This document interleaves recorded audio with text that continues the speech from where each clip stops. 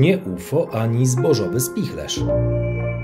To dach jednego z najbardziej charakterystycznych budynków muzealnych w Polsce rotundy Panoramy Racławickiej. Ten korytarz prowadzi wprost do serca rotundy. My jednak nie zamierzamy dziś podziwiać widoków panoramy Racławic, które stworzyli Kossak i Styka. Wraz z kierownikiem muzeum, doktorem Romualdem Nowakiem, chcemy pokazać Wam, jak wygląda panorama racławicka od tyłu.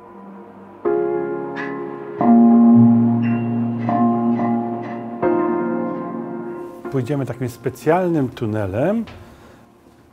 Widzimy, że to jest taki bardzo surowy, z widocznymi szalunkami betonowymi tunel, którym przejdziemy teraz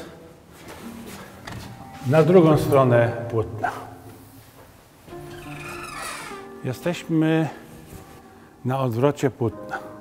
Każdemu się wydaje, że mm, płótno panoramy to jest taki klasyczny walec, ale jak spoglądniemy, to zobaczymy, że wyraźnie jest rozszerzenie w dolnej części i w górnej, a przewężenie w części środkowej. Geometrzy taką figurę nazywają hiperboloidą obrotową. Skąd taki kształt? To jest kształt, który powstał pod wpływem naturalnych sił grawitacji.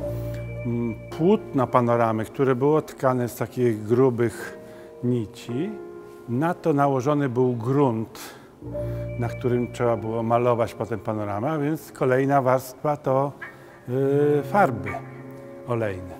Razem to wszystko to jest ciężar między 3,5 do 4 ton i pod wpływem naturalnych sił grawitacji następuje i takiego naprężenia płótna następuje jego odkształcenie. I to jest potem, to, to przywrócenie tego kształtu jest, y, można powiedzieć, największym problemem przy konserwacjach panoram.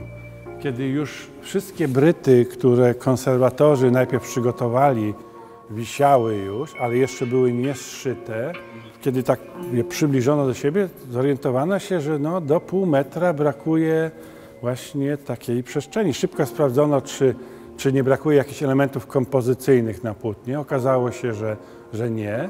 I wtedy no, postanowiono od góry równomiernie we wszystkich miejscach szywać to płótno. I co się okazało, że właśnie ten kształt tej hiperboloidy pozwolił w sposób naturalny, bez żadnego naciągania to płótno zszyć.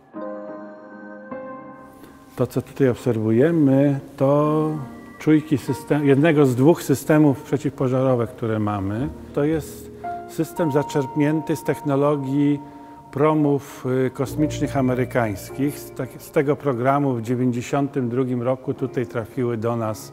Dzisiaj pomagają nam głównie właśnie w pomiarze temperatury i rozkładzie tej temperatury na płótnie e, panoramy.